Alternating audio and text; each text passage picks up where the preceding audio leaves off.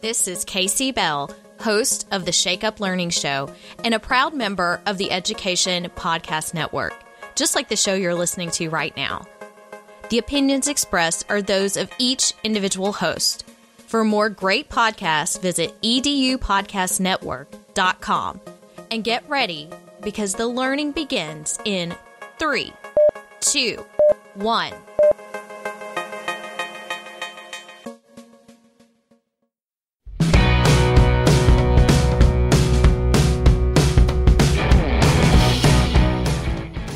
To episode 80 of the Google Teacher Tribe podcast, your source for the latest Google for Education news, tips, tricks, and ideas you can use in class tomorrow. I'm Kasey Bell from Shake Up Learning. And I'm Matt Miller from Ditch That Textbook. And today we are going to be going on spring break with all of you. And, uh, right? It's about time, for goodness sake. It is March as we're recording this. And for so many of us, we are either coming up on spring break. I know um, for our friends in Canada, you all call it March break a lot of times. So you may already be there. And so we're going to have some fun today. And we're going to look at some Google tools that you can use on your spring break that can also be used in the classroom. We're going to be talking about some things that you can do on spring break. I think um, it's good to have Kasey back, so maybe she's ready for a little bit of spring break. Is that safe to say? Oh, absolutely. Yeah, yeah, definitely. So we've got some really good stuff for you, along with all of the classics, all of the regular stuff. So I say we get into this. What do you think, Kasey? Let's do it.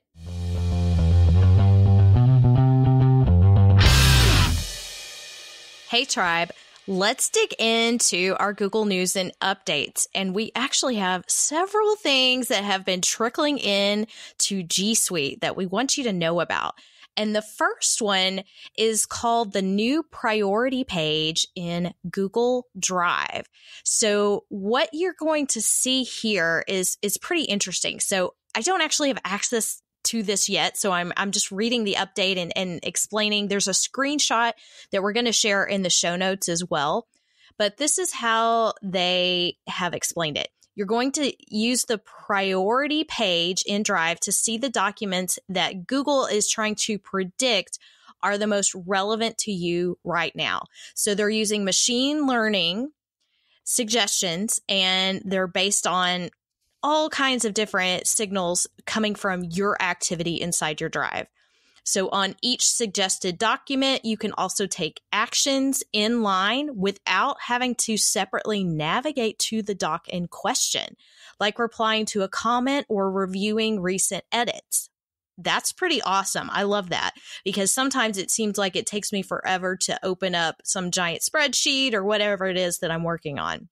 So, we've got this screenshot here in the update where you can kind of get an idea of what's coming and see those. So I'm kind of curious if this is really a new iteration of what they've called the quick access, which is sort of what pops up by default now when you open drive and it, it, is using machine learning to try to predict the things that you're going to open but maybe this is like a step up i'm thinking because because i can see some overlap with this.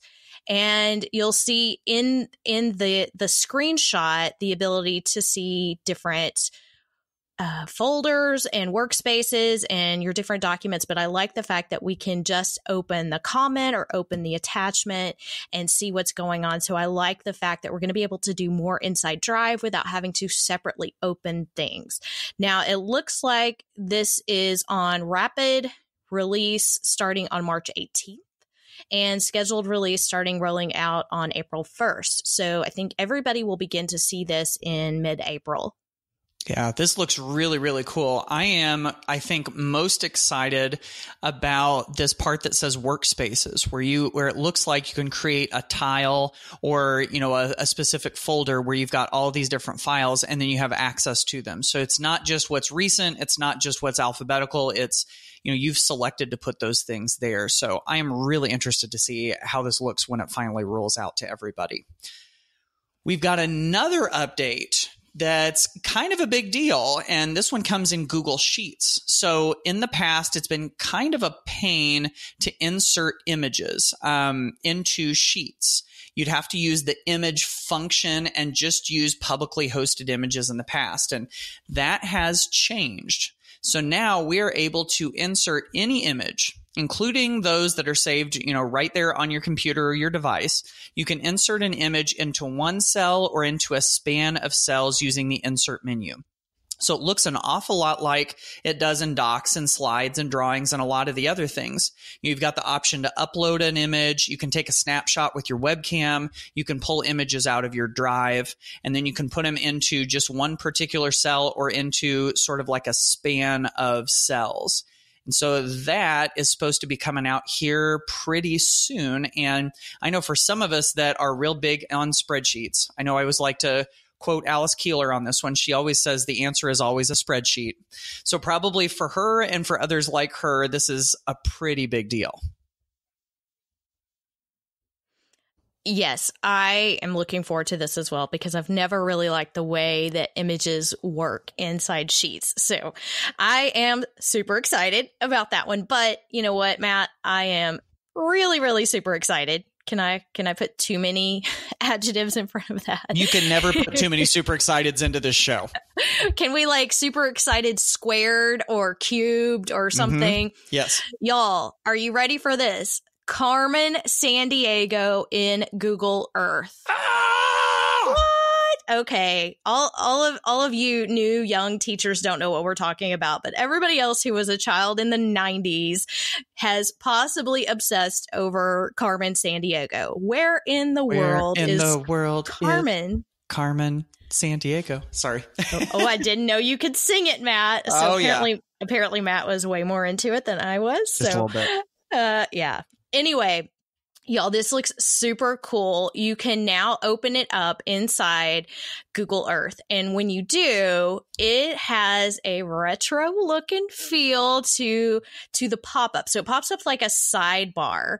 Uh, when you get your your different assignments. So you click on begin the chase inside Google Earth and you're going to get welcome to Acme Gumshoe, are you ready for your first assignment? And then you click next.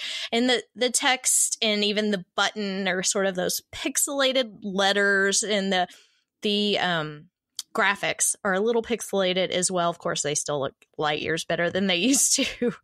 and you get your your entire assignment. You click start, and then when it opens up Google Earth, it's going to open a sidebar, and it's going to give you a little bit of an overview on how to use the different tools and navigate through the game. But it looks super fun, and I think we may have some new fans coming up through the ranks of Carmen Sandiego in our classes. Yeah, I'm pretty sure. I uh, I am nerding out about this like pretty seriously. Um, this this goes right up there with when they put Mario Kart into Google Maps.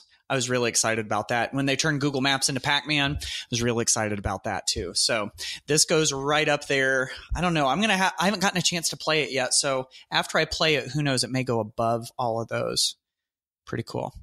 All right. Yeah. So I, will tell you too, right now, I have it open. I'm supposed to interview some witnesses in London, and I've got to use the magnifying glass to choose the landmark, uh, either the Tower of London, Buckingham Palace, or the Tower Bridge. So it's definitely um, educational as well. Yay. Yes. Love it. Love it. Love it. All right. So the last thing we've got for you in our news and updates, this comes from the keyword blog, and this is just the coolest thing, if you ask me. Um, the, the article says driving change with rolling study halls. And so this comes from Talladega County, Alabama, and they're doing this cool thing. They're participating in this um, program called Rolling Study Halls. And the idea is that they put Wi Fi hotspots onto buses. And so kids are riding home on their buses that are Wi Fi enabled. The students have their devices, and then they also have onboard educators. So these are you know, actual licensed teachers that are on board on the buses and sometimes even have fun educational activities planned. They're able to go work with students one on one. And so, you know, basically all of these kids, it says more than 7,000 students across 17 schools, they get on the bus and they're able to continue working. And so, you know, of course they they do mention that student behavior is better on the bus because they have something to do. Surprise. But they it basically does extend the learning day for everybody.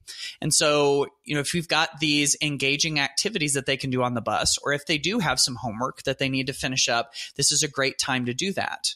And then what's also neat too is that um, the educators that are there on board get to continue to build those relationships with kids and give extra attention to the kids that need it. I just, I love this whole thing all the way around. I think this is such an innovative approach to getting internet access to, you know, kids that might not have it. You know, I know I live in an area of Indiana where internet access is not widespread and it's not great and so, you know, sending devices home sometimes is an exercise in futility if your internet is not working or if you just don't have it. And so this, I, I just, I love everything about this because, you know, bus drivers will tell you that the behavior issues are always a problem. Kids tell you that they get bored on the bus. This just seems like it checks so many boxes. So really, really love this model.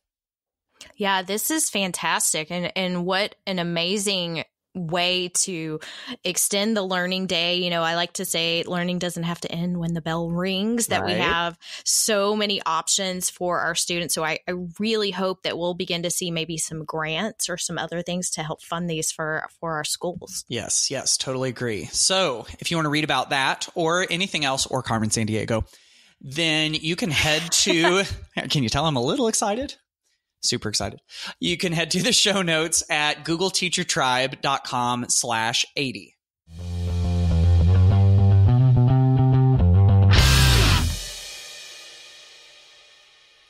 All right, tribe, like we were mentioning earlier, it is almost spring break for a lot of us. And with that that extra time off and a little bit of extra rejuvenation, a little break from teaching and from learning. There's lots of things that we can do with that. I know um, with the days leading up to spring break, sometimes class is a little different than usual. And then with spring break, actually happening, sometimes we've got a little bit of extra time to do some different stuff. So, uh, Kasey and I thought that we'd talk about some things related to spring break many of which are googly in some form um, that that might be sort of relevant right now. So um, this always makes me think of an activity that I always like to do in my um, high school Spanish classes. And my wife has done a version of this in her social studies classes before too. And the idea is that, you know, we've got all of these tools to help us with travel you know, a lot of times I found with my kids, they're, if they're not going on a spring break trip, it's kind of fun to think about what a spring break trip might be. And so what we would do is, you know, me being a Spanish teacher, is that we would plan out a trip. And I would even sometimes give them a budget of like how many imaginary dollars yes, imaginary dollars. I was not shelling out cash or handing them my credit card. Um, that they could spend and then they would go start to look through some of the tools that we have available. So you know we might use something like google maps to figure out the different ways to get around a city that they wanted to visit and then of course, we've also got the the ways to search for flights within Google that compares lots of different airlines, and so they can figure out how much that is. Um, I know even within Google Maps, it talks about the different stops that you have on public transportation. And so they would kind of make a, a, whole plan around all of that and figure out how much it was going to cost and where they were going to go. You can use Street View to drop yourself down on the street and see what that would look like. And so kind of blending all of these together and then maybe doing the the report in the end on a Google Slides presentation. I think that's the way that it looked whenever whenever I did it. And so, um, being able to put all those together, even um, by using Google My Maps, which we talked about last week, to create a custom map where you can drop pins and add information about what you might see if you visited there and how much it would cost to go. So uh, you know, this is another one of those fun ways where you can possibly pull in some of that content into something that is very much at the forefront of of kids' thoughts at at the time as we get close to spring break. Absolutely. And you know, it's it's the the time that we have in the classroom plus some of you may actually be doing some traveling on your own. And if you happen to be listening to this episode on your trek, we hope you are enjoying wherever the road takes you. But there are lots of travel tools that Google has as well. So I wanted to be sure and mention that I found this this blog post on the keyword blog called how I started traveling the world on my own thanks to Google. And it was actually tips from a solo female traveler where she shares not only her travels, but sort of how she used Google to support that.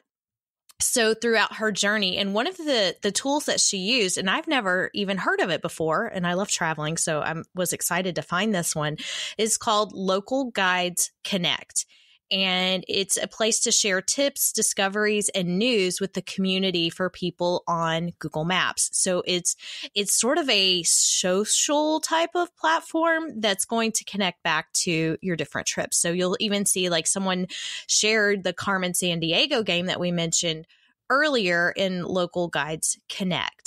So there are ways to share links, to share tips and, and different things within that. And that's exactly how our, our little solo traveler here, v- Vandana, used it. So she she traveled the the world. She went to Norway, New Zealand, all kinds of places and so she used the local guides to help her find those those special places as she went. So one that can help you if you are actually traveling, but two, if you're creating those virtual travel experiences like Matt was mentioning, I thought this was a really cool tool.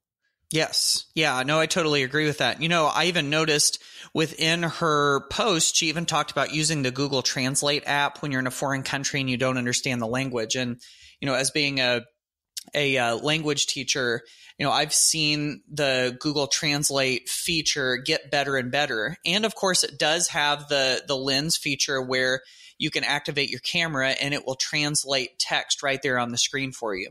It's not perfectly accurate, um, but it is enough to to get you by sometimes too. So, you know, even using that within activities in the class or on your travels can can be a useful thing. So, yeah, I thought that was really a really good one to add. Now, depending on what you're doing over these uh, spring break days, if you're not going anywhere, there is a chance for you to still do some virtual traveling, whether you're in the classroom with your students or if you're just hanging out at home. And it has to do with one of my favorite Google tools, which is Google Maps. And specifically, these are the Google Maps treks. And so, what Google Maps treks are it's kind of like Google Maps Street View. And if you're familiar with Street View, it's the idea that Google has these panoramic cameras that will shoot these pictures that you can look, you know, will allow you to look up and down and all around and zoom in. Um, and what they do is they take those cameras to these fantastic destinations all around the world. Sometimes they have to get the a waterproof version of those cameras so they can go underwater. Other times they stick them in a backpack or on someone's back. And what they do is they take all of this imagery of these amazing locations and then turn it into a real cool multimedia experience. And so, at a time of year when we're talking about traveling to different places, it will allow you to go to some pretty cool places. Like, for instance, you could go to um, you know, the Amazon basin. You can go to the Eiffel Tower. You can scale El Capitan, that uh, rock face at Yosemite National Park in California. You can go underwater to the Great Barrier Reef. And so there's just all sorts of cool places that you can go and it gives you multimedia so you can see video you can hear audio of the travelers themselves um, some interactive pictures and all of that so if traveling isn't in your plans, but you kind of want to do one of those uh, staycations, so to speak, then this is a way for you to get at least a little bit of that experience. I love this. And this is actually a big mashup of Street View, Maps, Google Earth. I mean, they all kind of come together. So I I clicked on the pyramids of ancient Egypt. And so right now I'm on Street View of the Great Pyramid of Giza, and it's um, I mean, it's I'm staring up at the scale of this Uh-huh. and the and the steepness of it, and of course, my mind is just constantly uh, amazed by how this was man made Right. thousands of years ago. Right. Or was thousands of years ago, right? Um, I don't, somebody's going to so. correct me on that That's okay. That's okay. but I mean the the fact that I mean I'm looking at it and I can see the horses down at the bottom like r- real horses and they're next to the stones that are putting this together and the stones are almost as big as the horse. So I'm just trying to contemplate, you know, how physically this, you know, this was constructed. And mm. anyway, so some great conversations. This is a place that I've always wanted to actually visit myself, but um, would would love to be able to explore things. And I love the fact that we have this at our fingertips, even though some of us won't actually get the the ability to go to some of these places in real life. We can see it and get that experience in our classroom or and and explore the things that we want to go see. Yeah, definitely. So, some other things you may want to explore over spring break, maybe some free resources or free courses that are out there for you. So, Matt and I wanted to be sure and mention a few things here. I have a free course on how to create magnetic poetry with Google Slides and Google Drawings. Now, if you have no interest in poetry, don't worry. The skills that you learn with slides and drawings will carry you into other types of activities that you can create for your students. So, really it's a it's a quick course it's something you can you can learn in your free time and i have a google classroom masterclass as well as a google slides masterclass that you can explore and learn more about those tools and become more of a master if you like.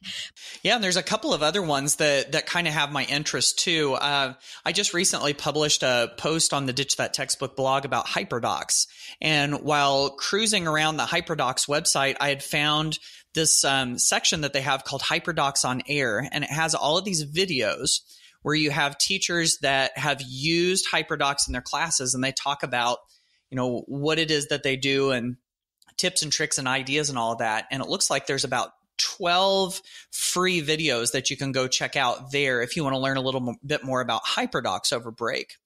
And then I thought I'd mention this too. I got to partner with the folks at Screencastify to create this one hour free online course called Master the Screencast. So if you're interested in learning more about Screencastify or just about screencast videos in general and what you can do with them in the class, this is a pretty easy course and you get a free badge afterwards too. So, um, yeah, lots of things that we could do. You know, it is kind of nice sometimes uh, when we have some time off. I think we educators are kind of a funny bunch uh, where um, I know no, not everybody's like this, but we get a little bit of time to ourselves. And what do some of us want to do? We want to go learn new things that we can do in our class. So, um, you know, if that's you, you've got some of these course options that are available to you. And then Kasey and I picked out a couple of books that had our interest too, because I know. Um, you know, a lot of us are, are big readers and are interested in, in checking new books out and everything. And I just recently picked this one book up. I have a friend, Kim Strobel, who is a, uh, she does professional development, um, but she's also a happiness coach, which I thought was kind of a cool title. And um, so she's been talking about how the, you know, the power of a positive mindset um, has really been proven by science in a lot of ways. And she encouraged me to check out this one book called The Happiness Advantage by Shawn Achor. And the subtitle of this says How a Positive Brain Fuels Success in Work and Life. And it's so fascinating to me to see how, you know, just being at positive instead of in a negative mindset or even a neutral mindset has such an impact on how effective we are and how efficient we are. So, you know, if you're looking for books to read over break, I think this is one that, that is totally worth checking out. Yes, and I was doing some digging too because I was just trying to see what's what's new, what's coming out. I was Yeah. s- skimming around Amazon and lo and behold, the infamous Gerry Brooks or Gary Brooks, I'm not sure how you pronounce his name. Y'all know him uh, yes. uh, from YouTube and his amazing videos. He's hilarious, he's entertaining, mm-hmm. and he's also very poignant. He has a way of pointing at things that are happening in education that we all kind of understand and that it's actually, you know, this this truth that's behind the the comedy that he provides for us as well. But he wrote a book and actually you can only pre-order it so technically i don't think you would get this in time to read it for spring break but it was worth mentioning it's called go see the principal true tales from the school trenches and I'm just scanning through so you can, you know, look inside on Amazon and see the the chapters and everything. But I don't want to go back to school. Principal tips for motivating and bonding your team. So that's that's chapter 1. Chapter 2, classroom placement, the methods to our madness. Oh, I really want that because many a principal has confused me in my day in terms of of classroom placements and schedules and everything else like that. Uh, chapter 3 is school supplies. Yes, we really need all that stuff. So I I would love to read this. This is on my list. I will probably pre-order it because I'm sure there is um, some some entertaining writing that goes along with this, knowing his style, and so I'm, I'm pretty excited to see this one pop up in my Amazon feed. The other one that I wanted to mention that I just noticed as well is from Sir Ken Robinson. So we probably all know Sir Ken. I mention him like I know him some way because I talk right? about him all the time. Yeah, me and Sir Ken. Yeah, we just uh-huh. hang out. No, I've you hang I've out on actually... YouTube. You know, I mean, that's kind of something. yeah, yeah, yeah. I think he still has the most um, viewed TED Talk yes, ever. I believe uh, so. Do, do schools kill creativity?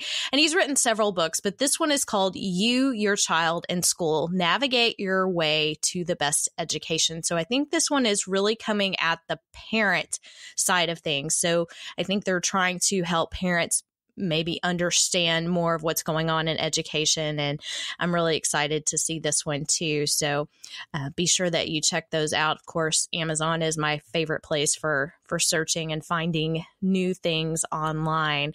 I also wanted to mention though, if you're looking for something to do over spring break, depending when your spring break begins, I am facilitating a book study of the Shake Up Learning book, and it starts on March 28th. So, shameless plug there, but if you want to join us, the book study is completely free. And of course, you can find all of the links to these books, to these courses, and to all of the fun things that we've been sharing in our show notes at googleteachertribe.com slash 80. There's a letter in your mailbox. Hey, you know what? This is all your mail. Hey, maybe I'll give you a call sometime. You've got mail. So, as Matt likes to say, we're going to jump in the mailbag. Let's jump in the mailbag! Yeah! Yay! I feel like we're on like Pee Wee's Playhouse or something. like the word of the day or something. What was, was ah! Oh Lord. Okay. It's it's it's time to get into this. All right. So we're in the mailbag and we have a fabulous idea from Craig Klement in Garland, Texas. And Craig was inspired by the Google My Maps episode that we did a couple weeks ago. And he has this great idea for creating a choice board using Google My Maps. So take it away, Craig. Hey, Matt and Kasey. Craig Klement, RTI facilitator from Dallas, Texas here. Um, I was just listening to the episode on Google My Maps, and I had an idea. I've never done this before, um, but it's basically like a choice board, but on Google My Maps, where a teacher could go and put different pins around the map, and then students kind of choose their own adventure um, and go through and complete different tasks at each at each of the different points, and then they could use the layers to highlight the route that they took um, on their adventure. Thank you. Love it. Fantastic. Y'all know I love me some choice boards. This is a great idea. And Craig, I want you to do it, run with it, and then share it with me. I want to see it. I want to know how this works. So if you try it, please, please, please share it with me. Or if anyone else out there has ever done this or wants to do it, I think this is a fabulous idea to use the mapping situation there, the application mapping situation. Mm-hmm, We're mm-hmm. just going to go with it. See, I'm mm-hmm. making up words already. Yep, yep, that's right. to uh, to create a learning menu or a choice board. So thank you for that, Craig. All right. No, I think that's great too. And you all do know that Kasey and I do love to see your examples from the classroom. We love to see that um, you know that real stuff coming you know straight from the hands of students and from from your classroom. So please, please, please, always think about sharing those with us. We love to pass them along. The next part of our mailbag comes to us from Mark from Wisconsin. And here's what Mark says He says, I have an assignment in literature that requires students to proofread a poorly written letter, roughly 50 mistakes. Some days I feel like I would make 50 mistakes in a poorly written letter and make corrections. Is there a way to turn off spell check in the shared document? I have it turned off in the master copy, but when I send it out through Classroom, each of their Chromebooks turns spell check back on. All right, so I see where Mark is coming from here. And the direct answer to his question is I am not aware of a way to turn off spell check in a shared document. Like he said, if it's in the master copy, I mean, I suppose there might be a way to get into the global settings of each student's Chromebook and to turn off the uh, spell check within each one of their Chromebooks. So that's going to be the short, quick answer is I don't know of a way. Let's get to a little bit bigger picture point here is I see that within this assignment, we want students to proofread a poorly written letter where there are roughly 50 mistakes and to make corrections. I'm going to suggest that this is a perfect opportunity for us to revise the assignment a little bit.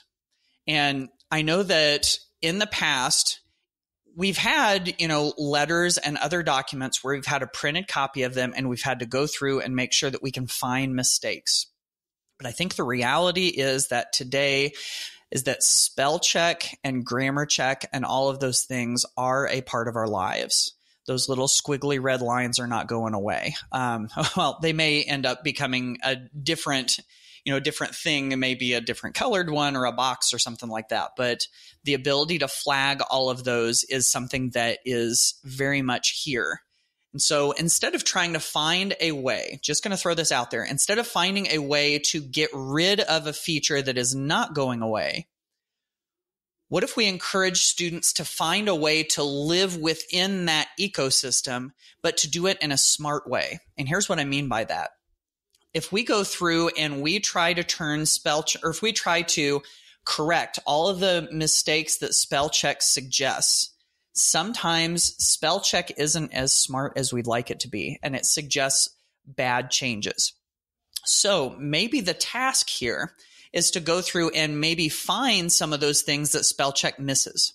Or spell check suggests something and we decide, oh, maybe spell check doesn't totally have this right and then have a you know have an opportunity for students to reflect on that experience of what it was like to work through spell check and grammar check and to see how often was it correct and how can we be smart consumers of this tool within docs and within other um, activities or within other tools. So uh, so again the short answer to this question is i can't think of a way to turn off spell check the bigger picture answer to this question is I'm not sure if we want to turn it off if it's something that's not going away.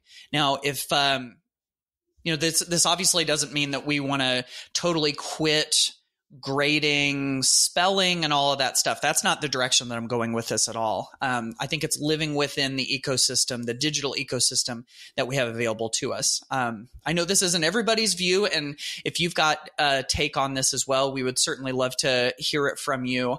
Um, but yeah, I think I think if that's if those are our options, I think maybe maybe we look at changing the task instead of fixing that one little feature.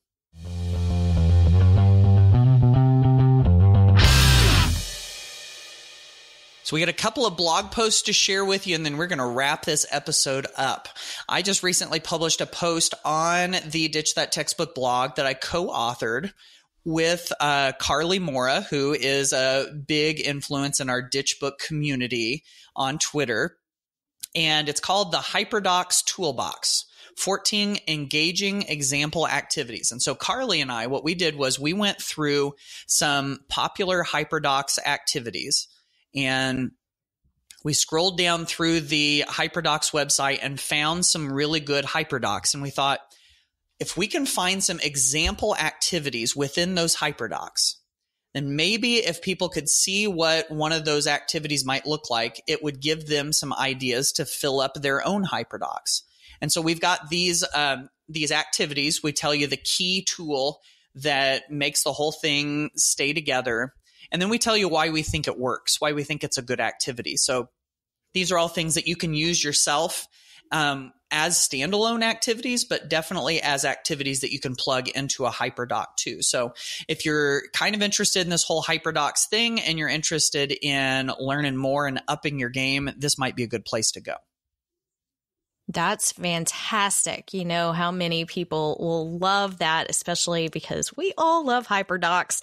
So many ideas. And I love that you shared that, Matt. And of course, Karly is amazing as well. So I'm going to have to spend some time digging into your post. Now, I have a post that I'm going to share, and it's actually an updated post that I update every year. And it started out, I will tell you the title because it's actually still in the URL 20 awesome apps that integrate with Google Classroom.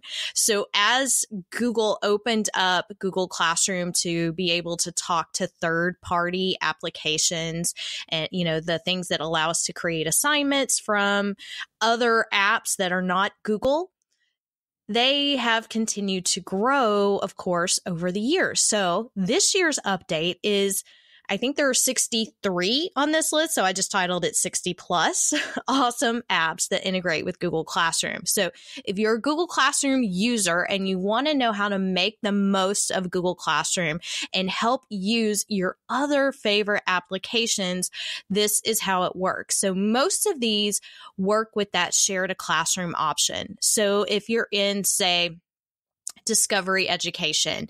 You can click on the share to classroom button and it will pop up and allow you to create the assignment from there. Some of these work a little bit differently. Some of these have to do with our student information systems, but you will find some of your favorite applications in this list, like BookWidgets, BrainPop, Classcraft, Curiosity.com, Discovery Education, Edpuzzle, Flipgrid, GoGuardian, Google Cast for Education, Insert Learning, tons of ideas here. So if you're looking for some new apps or you're wondering how you can actually work better within the Google Classroom platform, you may want to take a look at this po- this post here. And one more quick thing that I want to share. The new Shake Up Learning Show podcast starts on March 26th. So if you're listening to this podcast that comes out on March 25th, tomorrow is the, the premiere date. So I hope you will join me. I'm not leaving the Google Teacher Tribe. Matt and I have way too much fun doing this. So right. um, I, I, I'm just going to be talking some more. So if you want, if you want some more ideas, you can hop on over and listen to the new Shake Up Learning show, which will drop five episodes on Tuesday, March 26th.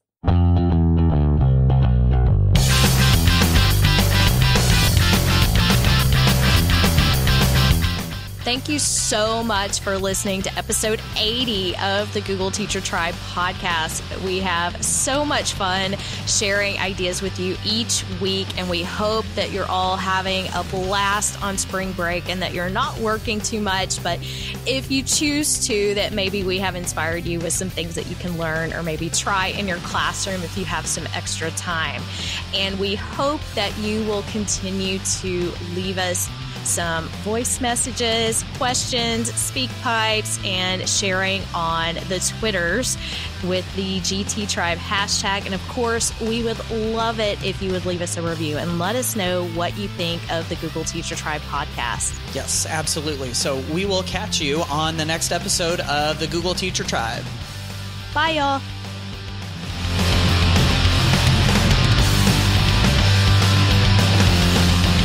Thanks for listening to the Google Teacher Tribe podcast. Keep up with every new episode by subscribing on iTunes, Google Play, or Stitcher, and by visiting GoogleTeacherTribe.com. Get in on the conversation on Twitter by using the hashtag GTTribe. Until next time, keep harnessing the G Suite power, and may the Googles be with you.